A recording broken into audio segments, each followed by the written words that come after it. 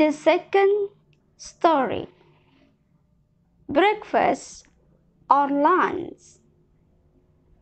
It was Sunday. I never get up early on Sundays. I sometimes stay in bed until lunchtime. Last Sunday, I got up very late. I looked out of the window. It was dark outside. What a day, I thought. It's raining again. Just then, the telephone rang. It was my Aunt Lucy. I've just arrived by train, she said. I'm coming to see you. But I'm still having breakfast, I said. What are you doing? she asked. I'm having breakfast, I repeated.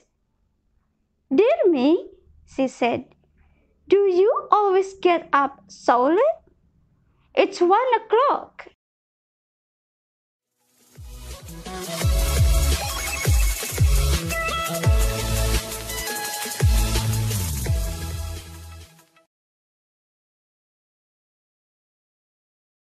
Alright, let's try to find out verb and noun from the story. Are you ready? Here we go. Verb Get Stay and look out. Noun Bed Window and telephone. For you to practice. 1.